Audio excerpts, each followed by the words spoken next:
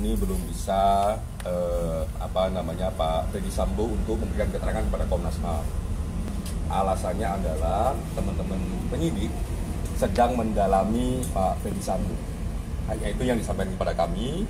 Ketua Komnas HAM RI Ahmad Taufan Damanik mengungkapkan goal atau tujuan dari pemantauan dan penyelidikan Komnas HAM terhadap kasus tewasnya Brigadir Nofriansyah Yosua Huta Barat alias Brigadir J. Taufan mengatakan fokus pemantauan dan penyelidikan yang dilakukan Komnas HAM bukanlah pelaku yang terkait tewasnya Brigadir J melainkan prinsip-prinsip fair trial atau hak memperoleh peradilan yang adil berjalan dalam proses penegakan hukum hingga peradilan. Sudah saya katakan sejak awal, jadi isu yang paling menjadi fokus Komnas HAM apa di sini? Fair trial, itu orang banyak tidak memahami ya, langsung saja orang bicara siapa pelaku, apa dan sebagainya.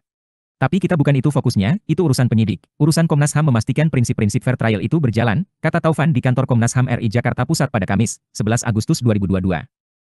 Taufan juga mengatakan tujuan akhir dari berjalannya prinsip-prinsip fair trial tersebut adalah akses to justice atau hak untuk memperoleh keadilan bagi semua pihak terkait.